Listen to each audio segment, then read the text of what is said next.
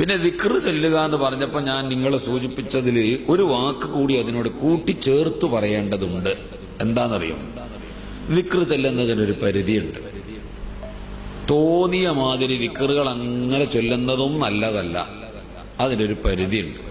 മാം ഷാറാനി റബിയുള്ളാവിന് പറഞ്ഞത് സാധാരണക്കാരായ ആളുകൾ ഓവറായിട്ട് ദിക്റ് ചെല്ലരുതെന്നാണ് ദിക്റ് ചൊല്ലിയാൽ പൈശാചികമായ ചില സഹായങ്ങൾ നമുക്ക് വന്നു ഭവിക്കും പൈശാചിക സഹായങ്ങൾ വന്നു ഭവിക്കും. അവന് നമ്മളിപ്പോ നിത്യവും കുറെ ദിക്കറുകൾ അങ്ങ് ചൊല്ലി നമ്മൾ കണ്ടതൊക്കെ ചിലപ്പോ ഞാൻ വാഴതിൽ കുറച്ച് ദിക്കർ പറഞ്ഞു തന്നപ്പോ നിങ്ങൾ അതിൽ നിന്ന് ആവേശം ഉൾക്കൊണ്ടിട്ട് അതങ്ങോട്ട് ചെല്ലാൻ തുടങ്ങി. എനിക്ക് രണ്ടു ദിവസം വരാൻ കഴിഞ്ഞില്ല. അപ്പൊ വേറൊരാളെ പറഞ്ഞയച്ച അയാൾ ചോദിച്ചു എന്തായിരുന്നു എന്നാലും തങ്ങളെ വിഷയം? തങ്ങളെ നല്ല ദിക്കറിനെ പറ്റിയാ പറഞ്ഞു. അപ്പൊ അയാളും ചെയ്തു. അതിന്റെ ബാക്കി തന്നെ ആയിക്കോട്ടെ എന്നുള്ളവർക്ക് വേറെ കുറച്ച് ദിക്കർ നിങ്ങൾക്ക് പറഞ്ഞു തന്നു. അങ്ങനെ അതും ചെല്ലാൻ തുടങ്ങി. അങ്ങനെ കുറച്ച് ദിക്കറ് ഓവറായിട്ടാണ് ചെല്ലാൻ തുടങ്ങി.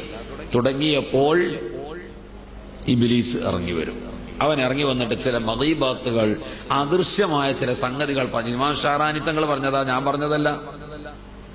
ഇറങ്ങി വന്നിട്ട് ഇബിലീസ് നമുക്ക് ചില സംഗതികൾ പറഞ്ഞു തരും. അപ്പൊ ഇന്ന് എന്നോട് ഞാൻ ക്ലാസ്സിന് വന്നപ്പോ നിങ്ങൾ ഇങ്ങനെ വന്നിട്ട് വരുന്ന വഴിക്ക് ഒരു ആക്സിഡന്റ് ഉണ്ടായിരുന്നുല്ലേ? എടാ എങ്ങനെ ഇയാൾ തെറിഞ്ഞത്? ആ അതൊക്കെ അറിഞ്ഞു. അതൊക്കെ ഞാൻ പറയും. ഞാനിപ്പോ ആരാ നിങ്ങൾ മനസ്സിലാക്കിയത്?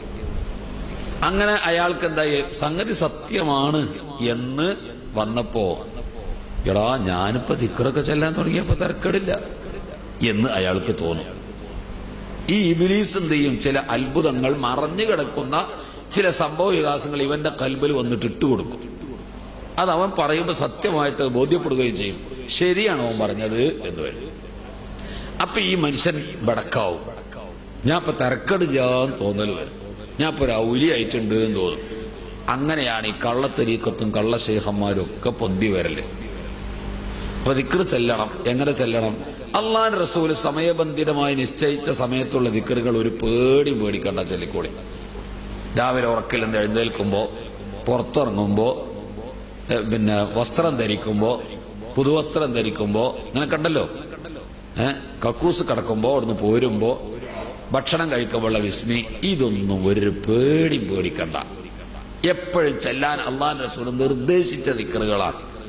നിത്യം പതിവാക്കിയാൽ തന്നെ അത്യാവശ്യം ദിക്കറ് ആയി. പിന്നെ കുറച്ച് ദിക്കറുകൾ എക്സ്ട്രാ നിങ്ങൾക്ക് ചെല്ലണോ? അത് നിങ്ങളുടെ ആത്മീയമായ ഇപ്പോഴത്തെ കപ്പാസിറ്റി മനസ്സിലാക്കാൻ കഴിവുള്ള ഒരു മഹാന്റെ അടുക്കൽ ചെല്ലുമ്പോൾ നമുക്ക് ഓരോരുത്തർക്കും ആത്മീയ ഒരു ഒരു രോഗം വന്നിട്ട് ഡോക്ടറെ സമീപിച്ചാൽ അയാൾ എനിക്ക് എഴുതിയത് രാവിലെ രണ്ട് ഗുളിക വൈകുന്നേരം ഒരു രണ്ട് ഗുളിക എന്നാണ്. അതേ അസുഖം പനി. എന്റെ മകനിക്കുണ്ട് പത്ത് വയസ്സ് പ്രായമാണ്. ആ മകനെ ഡോക്ടറെ എടുത്ത് കാണിച്ചപ്പോൾ ഡോക്ടർ പറഞ്ഞത് അര ഗുളിക രാവിലെ അര ഗുളിക വൈകുന്നേരം എന്നാ. എന്താണ്? അഞ്ഞൂറ് എം ജിയുടെ ഈ ടാബ്ലറ്റ് ഈ കാപ്സൂൾ കഴിക്കാൻ എനിക്കുണ്ടാകുന്ന കപ്പാസിറ്റി എന്റെ പ്രതിരോധ ശക്തിയും എന്റെ ആരോഗ്യവും പത്ത് വയസ്സ് പ്രായമുള്ള എന്റെ കുട്ടിക്കില്ല. ഇത് മനസ്സിലാക്കിയ ഒരു ഡോക്ടർ എന്റെ ആരോഗ്യനില അനുസരിച്ച ഡോസ് എനിക്ക് തരുന്നു. എന്റെ മകന്റെ ആരോഗ്യനിലയും കപ്പാസിറ്റിയും അനുസരിച്ചുള്ള ഡോസ് മകനിക്കും കൊടുക്കുന്നു. ഇതുപോലെ ഔലിയാക്കന്മാരും സ്വാലിഹ്യങ്ങളും മുത്തബറക്കായ മഹാന്മാരും.